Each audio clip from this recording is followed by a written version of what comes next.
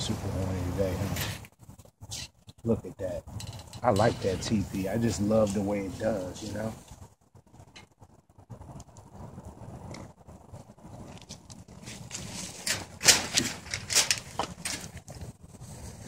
Yeah, you know you got to hold that for a second, right? Mm-hmm. Good.